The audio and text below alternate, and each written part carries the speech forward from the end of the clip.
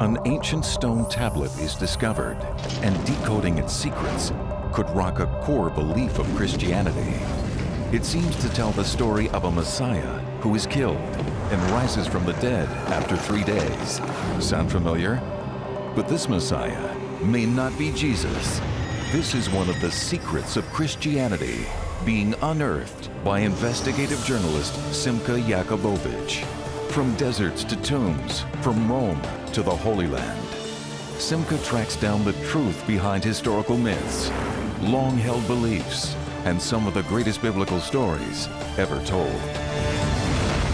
This is a photograph of a unique and mysterious 2,000-year-old tablet or stone.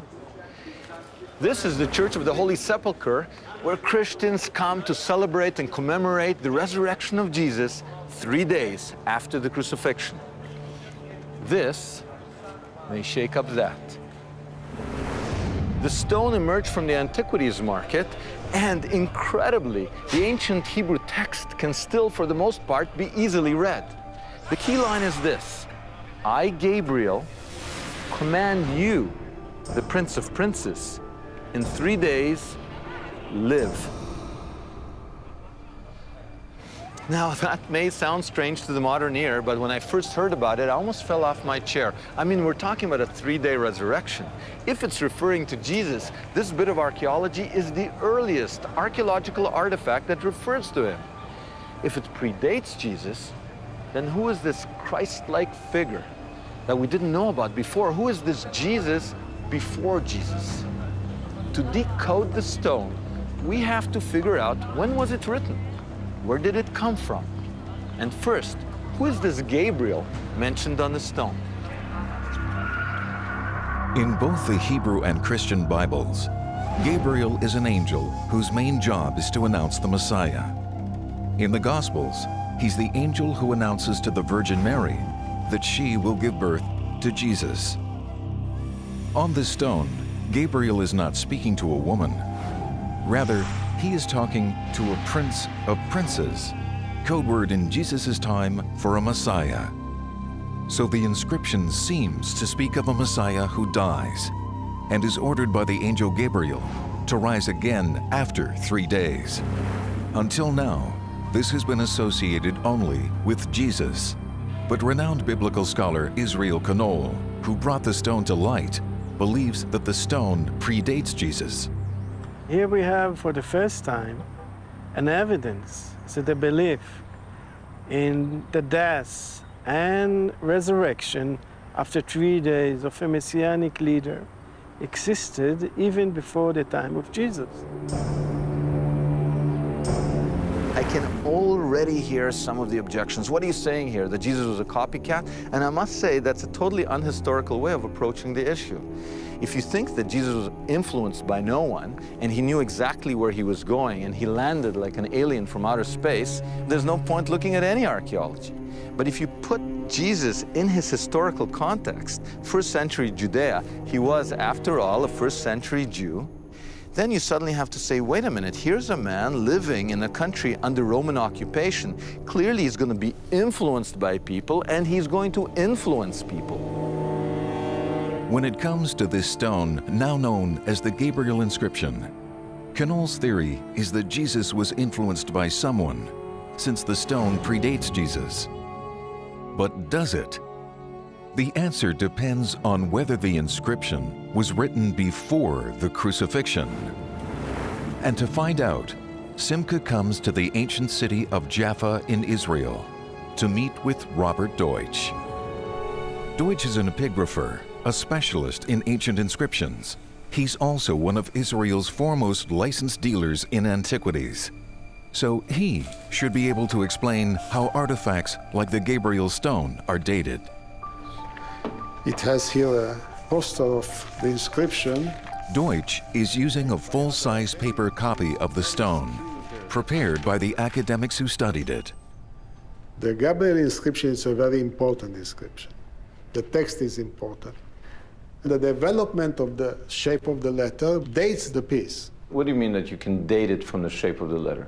It develops like a car. The shape of a car, it was never the same before, and it will never be the same after that. So you, if you find a car, you can say what year it was. Exactly. This is typology, which is a very, very accurate tool. To illustrate the point, in the 1st century BC and early 1st century AD, the Hebrew letter Lamed, L in English, had a long neck and then lost it. During the same period, the Kuf, or K, lost its little cap. And the Mem, the letter M, initially square, became rounded, losing its squiggles in the process.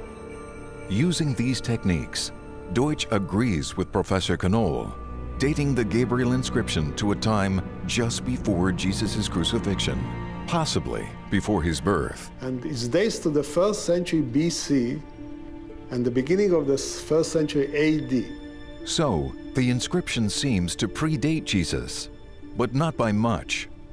To hone in on a more precise date, Simcha needs access to the inscription. But the problem is that the stone belongs to an Israeli collector, David Jesselson, who lives in Switzerland. Hi, Dr. Jesselson, it's Simcha. And he won't give Simcha access to the artifact.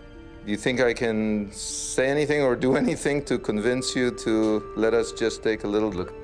Simcha isn't surprised. He believes that David Jesselson is like many collectors who don't like investigative journalists around artifacts they've purchased from sometimes shady antiquities dealers. Well, okay, if you change your mind, uh, I think you have my email and. Simcha is determined to see the stone, but since he can't get access to the real one, he's commissioning artist Dana Bendov to make him a replica using photographs published in scholarly journals. Since we don't have access to the stone itself, mm-hmm. this is a real one-to-one copy. Okay, so This stone, it's three feet high and one foot wide. And it's very, very, very unusual. It's got columns, it's got an incision. The letters are hanging from the lines. Mm-hmm. It's not inscribed, which is unusual for a stone. It's painted okay with ink. with ink. So what I'd like you to do, because that's what you do for a living, mm-hmm. is make me Make me this. make me this exactly. Building replicas is a highly specialized discipline, and the work begins right away. From the original photograph, the team of reproduction experts are using 3D computer and laser technology to recreate the multiple layers of the stone. From the painstaking carving process to laying on the letters precisely as they appear on the original stone, making the reproduction as close to a perfect copy as possible. This should help Simcha figure out its date, origin, and meaning.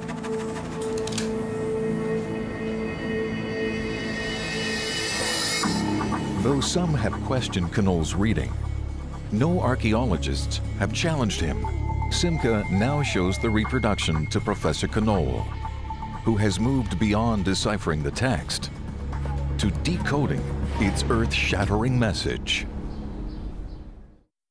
In 2007, an ancient stone came to the attention of scholars that has the potential of shaking Christianity to its foundations.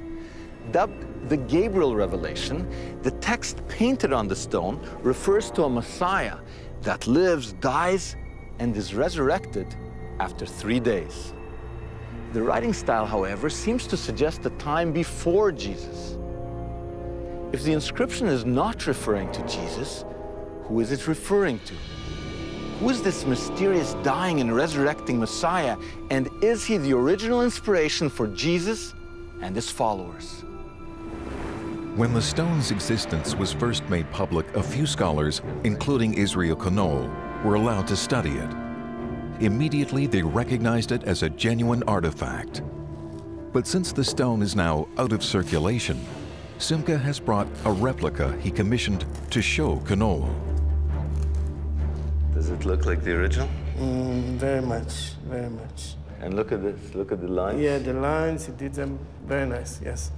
Where are the key words? Uh, I just want to make sure. Here is uh, Leshloshet Yamin. In three days. Reading the Hebrew text, Professor Knohl begins to decode it. For Knohl, the key historical clue is a reference to three shepherds. I have sent my people, my three shepherds. Three shepherds. Knohl thinks one of these shepherds, living around Jesus' birth, is the Messiah mentioned on the stone. Their story begins at the end of the first century BC with Herod the Great. Herod was appointed by the Roman Emperor Augustus to rule Judea and do Rome's bidding. He was a tyrant, hated by his subjects. Paranoid that a Christ-like figure would dethrone him, Herod is remembered in the Gospels as the ruler who killed innocent babies, fearing that one of them might be a Messiah. When Herod died in 4 BC, his death triggered a messianic fever. Rebellion broke out on three fronts across the country. This was the beginning. This is the place where the serious rebellion started here, at this point where we, where we sit here now. Was this a nationwide revolt? Yes, Israel was literally burning uh, during this rebellion, yes. There were three centers for this rebellion, three messianic leaders. One, Judah in the Galilee, the second one, Athronges in Emmaus, and the third one, Simon from the Perea, from the area of Transjordan. Suddenly, our idea of the world that Jesus was born into seems very different from anything that we heard about in Christmas carols. I mean, this was no tranquil land with shepherds tending their flock and wise men following stars. This was a land riddled by political unrest and violence, rape, pillage, crucifixions, Jews against Romans. There was a revolution going on. And there were not one, but three revolutionary leaders, or messianic shepherds. One of them seems to have inspired Jesus. But which one? Could it have been Athronges from Emmaus, which is just outside of Jerusalem? Despite more than a century of digging here in Jerusalem, not a single Gabriel-like stone, not one, has ever been found. I mean, ink, painted on stone, anything that resembles it. Now that's very significant because archaeologically speaking, if you have a tradition of memorializing people on stone, then you find more than one. So the fact that not a single one has been found in this area pretty much eliminates Athronges as the dying and resurrecting Messiah mentioned on the stone. Well, that eliminates him. The next candidate is Judah. He operated in the Galilee close to Jesus' hometown of Nazareth. And there is one archaeological site associated with him, a place called Gamla. Gamla was a center of revolt before and after Jesus. 37 years after the crucifixion, it was utterly destroyed by the Romans, never to be resettled. Simcha is here with archaeologist Danny Syon to see if there is any Gabriel-like stone dating to the pre-Jesus Judah revolt. Immediately inside the gate, they come across signs of the final destruction. Essentially, you guys were the first to come in here since the destruction some 2,000 years ago. That is correct. The general of the Roman armies came here uh, leading three legions. Three full legions is no less than uh, 30,000 people. And then they brought up the siege machines and battering rams, and they used artillery barrage to bombard the city with ballista balls. Here's an example of one such ballista ball. This guy weighs about five kilos. These things are coming raining down on your head. Exactly, exactly. How many have you found of these? 2,000. 2,000? Yes. In addition to the ballistas, they used arrows. We found at Gamla 1,600 arrowheads, which is probably more than all the arrowhead finds in all of Europe put together. But Simcha is interested in earlier artifacts. Is there anything here related to the would-be Messiah called Judah of Galilee? As it turns out, in the period between Judah's revolt and the final destruction of Gamla in 67 AD, the people came back and rebuilt their city, except for one area which they left untouched. Simcha and Danny head there now, looking for signs of the messianic leader called Judah. So what exactly are we looking at here? Sometime round about the death of King Herod, this area was completely and totally abandoned. So let me get this straight. This was a living, breathing place. And then suddenly, you know, like a volcanic eruption, it comes to a grinding halt. That is correct. But the bigger enigma is why nobody came back afterwards, because life went on around this area.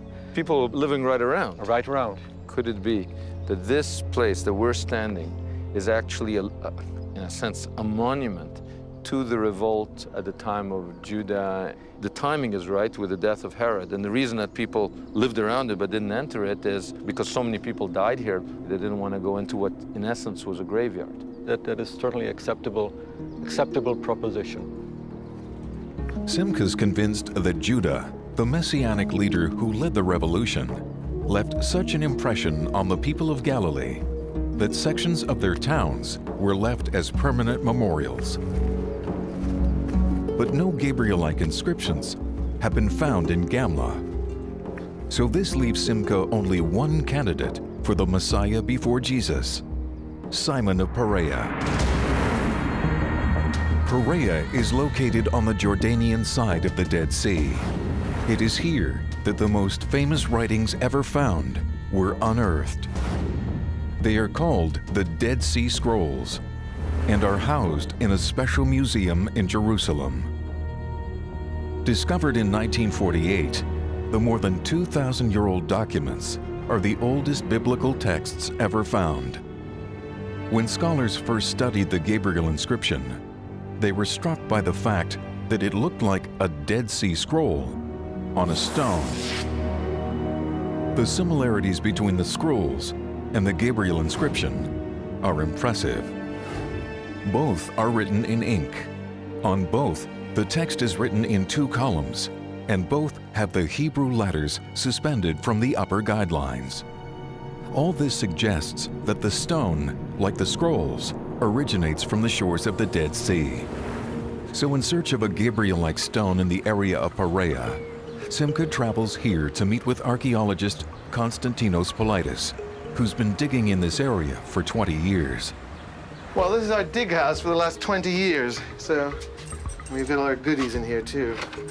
I'm, I'm excited about seeing the goodies. Please, after you.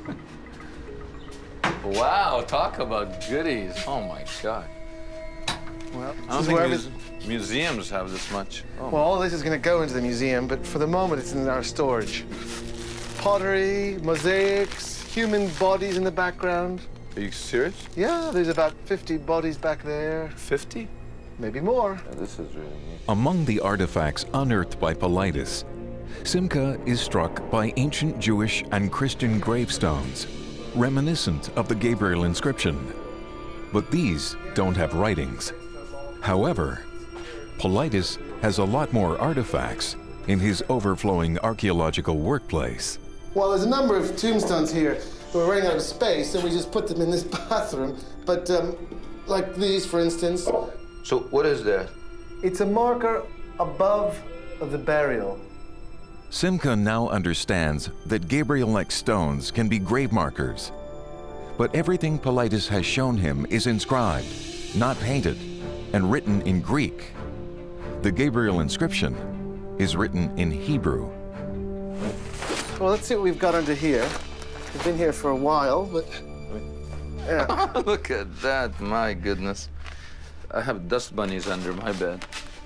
we can pull out some of them. Let's see. Rough on the back. Yeah, it's a bit. Ah, here you go. That's a that's a Jewish one. Whoa! Very simple. Uh, no. It's no- faded, but this one is Hebrew. Politis now shows Simcha several Gabriel-like Hebrew stones. It's a tradition of writing in paint directly on a stone without engraving, and it seems to be more common amongst the Jewish ones. We're here for a reason, and I think the Gabriel inscription seems to come um, from this area. We know that in the Dead Sea area, there is this uh, tradition of writing, uh, painting letters on, on stone.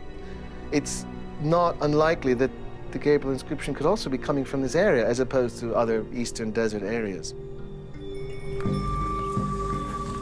By tracing the stone to Perea, the investigation seems to have linked the dying and resurrecting Messiah with Simon of Perea, the man who may have inspired Jesus. Only a few kilometers from where Politis has found his Gabriel-like stones is the exact area where Simon began his revolution. We're in an area called, in the land called Perea, which means in Greek, beyond, beyond the river, the Jordan River. How does this relate to Simon of Perea? Well, this is the land that he was in, and behind us we have this town of Machaerus, which is where he was living. A Roman, Byzantine, early Christian town, very similar to some of the buildings that have been built here. Same stones that have been reused here, same type of architecture, more or less. So basically, when we talk about Simon of Perea, he might have lived in this village and he might have lived in a house that looked not much different than this. Oh, yes, very much so. When Simon started his campaign, he seized this area first. It's a, it's a natural strategic point. So if you start a revolution, this is a good place to start it. It's defended naturally, and you have a very good viewpoint right across the Dead Sea to Judea, so yes. You read in Josephus that uh, Simon of Perea led a revolt, that it was crushed. It's one thing. But when you actually see, you know, troughs, mills, houses, you know, when you connect with the everyday life of human existence, to think of how it looked like or felt like when people were killed and sold into slavery and raped and crucified, there's an emotional connection for me. The evidence is mounting that Simon is the Messiah memorialized on the stone, and the man who may have inspired Jesus. But if the Gabriel stone did come from Perea, how did it get to the west? Simcha now goes inside an illegal Jordanian antiquities market to find out.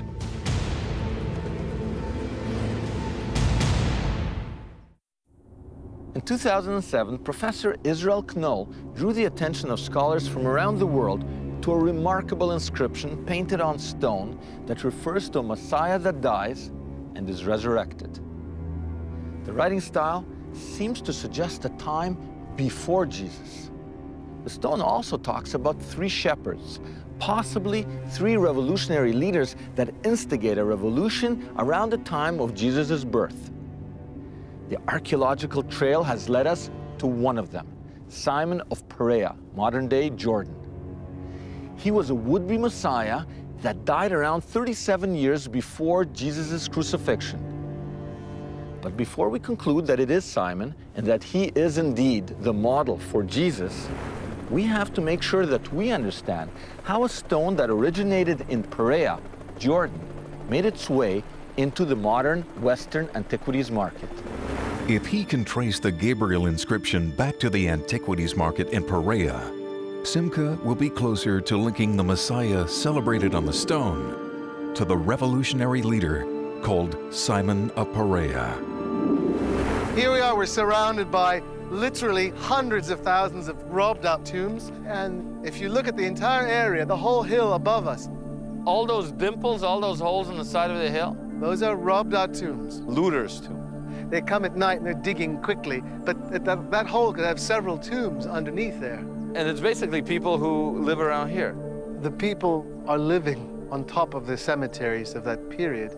Underneath the houses, when they dig the foundations, they found these things. And then when they sell one or two, they see they make some money. They maybe just walk a, a few hundred yards right here, dig it up, and sell some more. Exactly. They get, what, a hundred bucks? They get whatever they can get. They might get $10, or they might get a thousand, but usually we're talking about small amounts compared to what the middlemen are getting.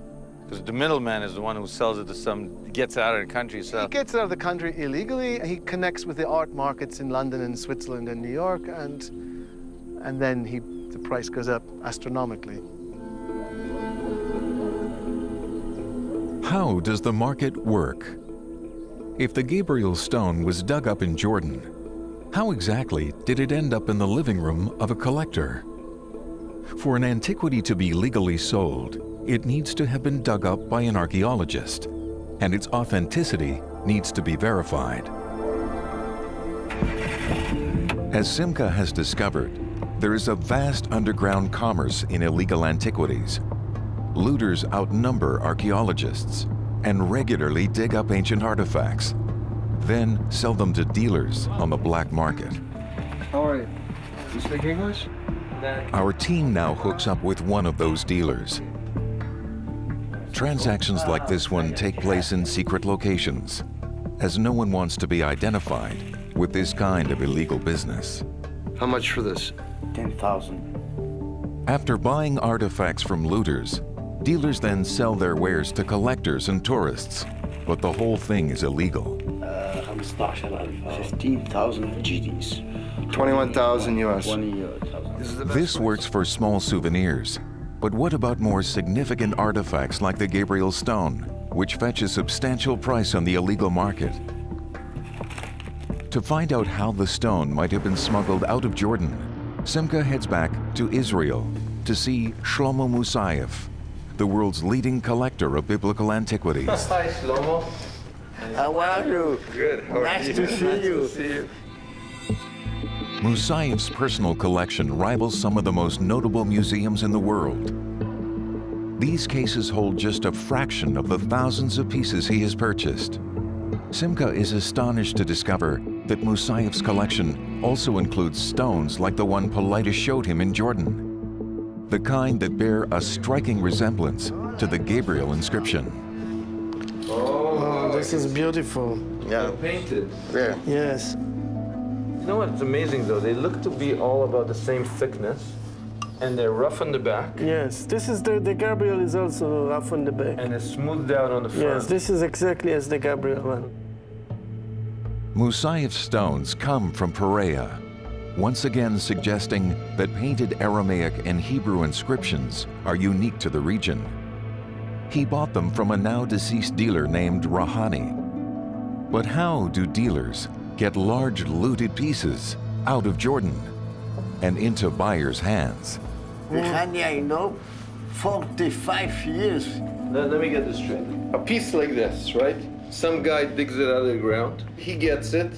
He paid off people on the airline. Yes? Yeah. And that's how it got to London. Yeah. And then he comes straight to you. Yeah. Since Rahani was the address for high-end archaeology that originated in Perea, and Moussaieff knew Rahani for 45 years, Simcha decides to take a chance. Okay, so what I want to know is this. Did you ever encounter a uh, piece much bigger, three feet high? The one that was recently published? I saw it. It is in Zurich. Uh, Rihani showed it to you? Sure, he showed me. Why didn't you buy it? Because he asked me such a big price. How much did he ask for it? $200,000. $200,000. But what would you have been prepared to pay at that time? 100, 150. You would have paid 100, 150,000? Yeah. No more. Simcha's now unraveled many of the stone's secrets. The writing style, the archaeology, and the way the stone appeared on the antiquities market all point to Perea as its place of origin. Simcha has also discovered that a rebel named Simon came from this area and that his followers thought he was a Messiah. Israel Knohl believes that he has found strong textual evidence suggesting that Simon's followers were the first to claim that their leader rose from the dead. The argument centers on a word mentioned on the stone that is meaningless to anyone except a biblical scholar. The word is domen, which means dung. But Knohl points out that every biblical reference to domen means one thing only rotting flesh. Sar Hasarim, Domen Arubot Surim, Prince of Princes, and he decomposed in a gorge because those who have killed him did not let his body to be buried. Around the time of Jesus, the story on the stone seems to fit Simon and no one else. Simon's story goes like this. At first, Simon was successful. He defeated a Roman garrison and crowned himself Messiah. The Romans went after him with a vengeance, and they chased Simon into a Perean gully like this one. After a bloody battle, they decapitated him. To further demoralize his followers, they didn't allow them to bury his body. This is the very story Knohl believes he has decoded on the stone. But really, this makes sense. I can just see a battle, right? They can come in here. A few people can, can hold off a lot of people, but they can get surrounded. So the leader wants to get a little bit of a better position, right? He runs up. He runs up a place like this. He's chased. He's literally met. He's surrounded from that side. He's decapitated. You know, he, he, he, he, he falls. He dies in a place like this, you know?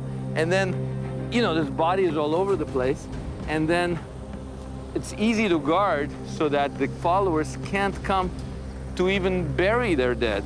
Lying down here, Till his decomposing. body is turned into dung. Domen. This word is used several times in the Bible where somebody is not allowed to be buried. His body is, stays outside and rats, like these animals that we, we see here.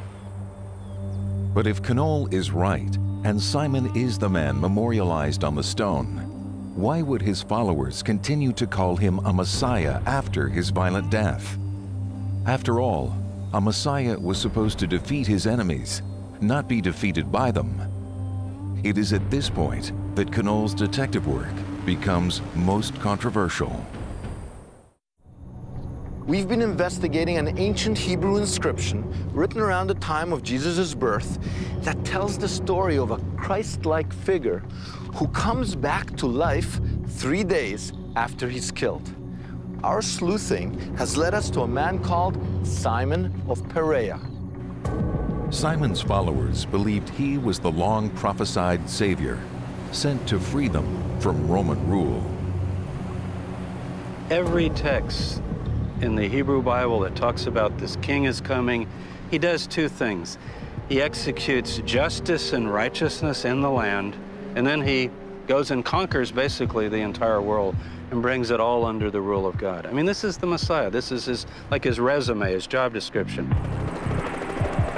Josephus, the Jewish historian, tells us that the reason Herod fortified these desert places is he feared more than anything that a native king might rise in Perea, in Judea, in Galilee, and have some sort of claim to the throne.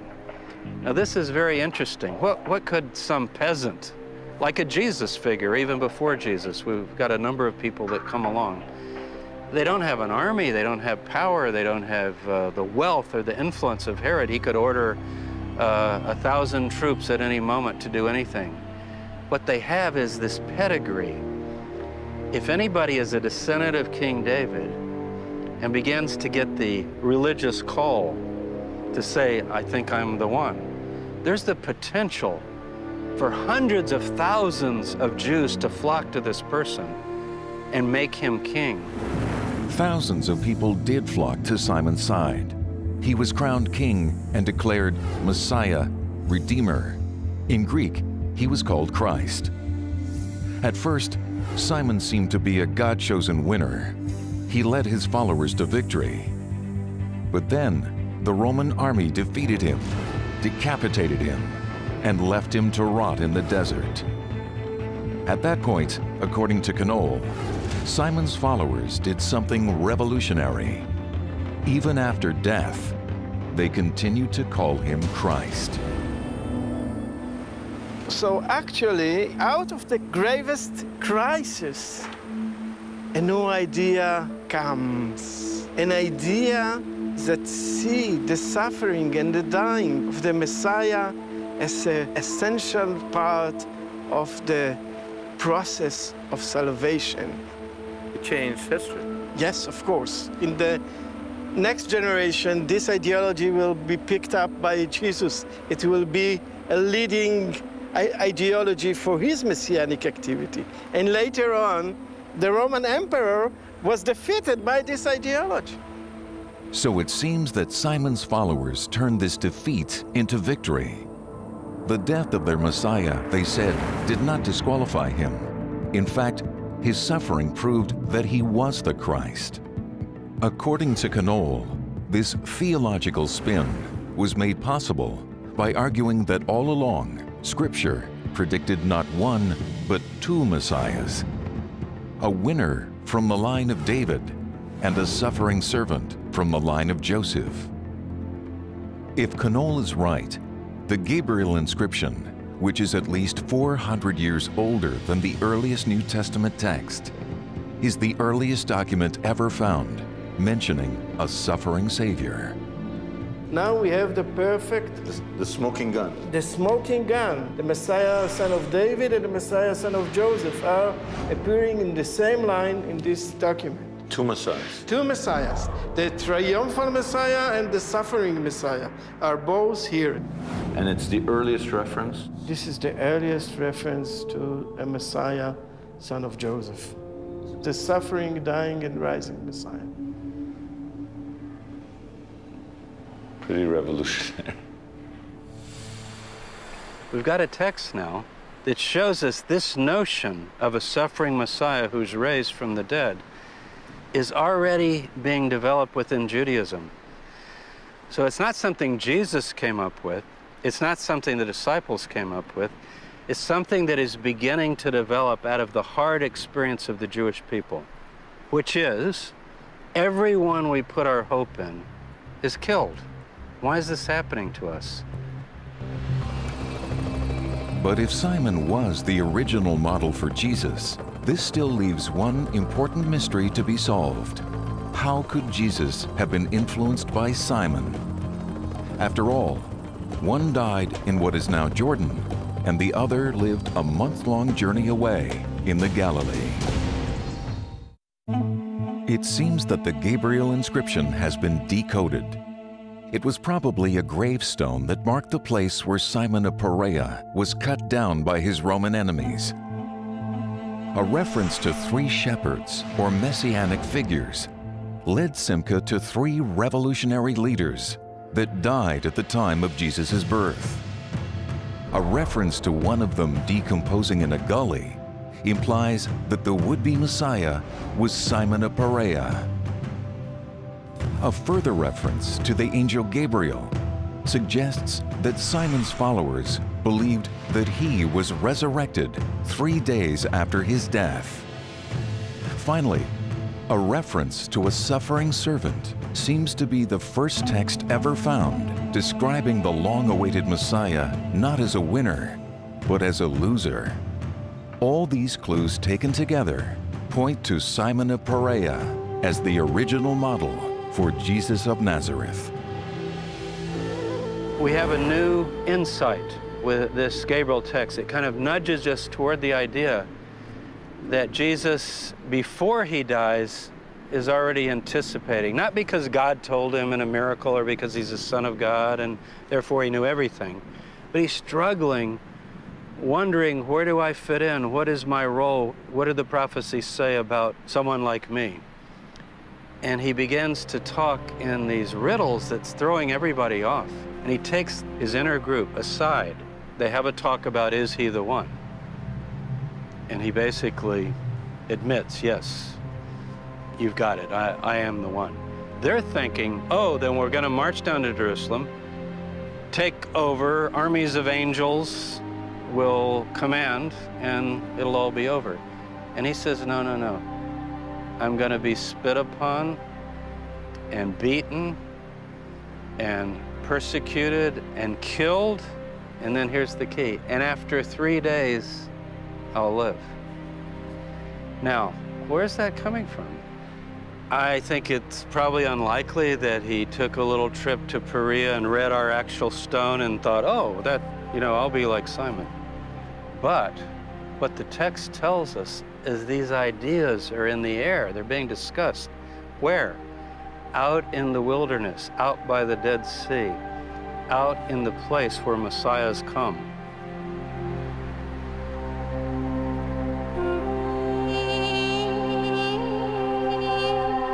But how would Jesus, who lived in northern Israel, have been influenced by Simon, who lived in Perea, modern day Jordan? I mean, the two are 130 miles apart, a month long journey in Jesus' time. Well, it turns out that in precisely the same location where Simon lived and died, Jesus' cousin, John the Baptist, lived and was beheaded. In order to fill in the last piece of the puzzle, Simcha travels with Israel Knohl to Machaerus and Perea, where John the Baptist was imprisoned by Herod the Great's son, Herod Antipas. Like Simon and Jesus, John the Baptist was preaching a religious revival that set him on a collision course with the Roman authorities. And it is here, in this stronghold, that John the Baptist lost his life. If we are asking ourselves, how is it possible that uh, Jesus got this ideology? Who was the link?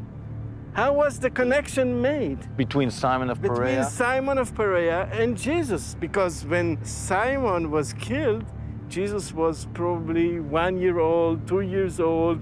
He couldn't talk to him, of course.